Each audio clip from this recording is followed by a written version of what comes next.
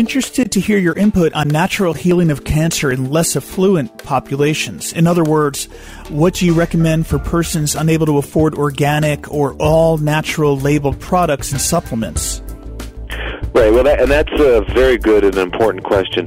Um, the the thing about food is we all overeat. Okay, uh, way overeat, and we do know all the studies uh, in every mammal um, that they've ever studied, including humans, that they uh, less is more. The, when you cut down your caloric intake, the longer you live. So, what I would say is eat less, but make sure it's high quality. So, instead of eating three big meals a day, eat one small organic meal, and you'll live longer for many reasons. Now, remember, if it's not organic, it's got herbicides, pesticides, and fungicides. And you know what that rhymes with? Suicide, homicide, and genocide. Clearly not the side you want to be on. So, I would never advise anyone to do it. It'd be kind of like going to the a restaurant and the waiter comes by and after you he serves you the salads, he's got a little can of Black Flag and he says, "Would you like a squirt?" Um, no, no thanks. So anyway, th- we have to look at it when it's not organic. Um, now people are saying, yeah, but you know, even um, even some of the you know Walmart's selling organic now. So is it really organic?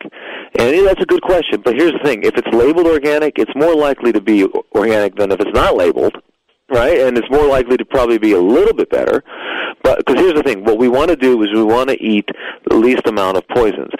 So what can someone do who doesn't have a lot of financial resources? They can make sure that they only buy quality food and that they don't overeat.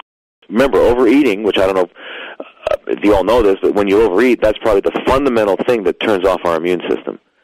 So, I mean, that's that's a crazy thing to do. So, by undereating, staying a little bit a little bit hungry, and having a good, satisfying meal once a day, so you're well nourished, is long life and and health.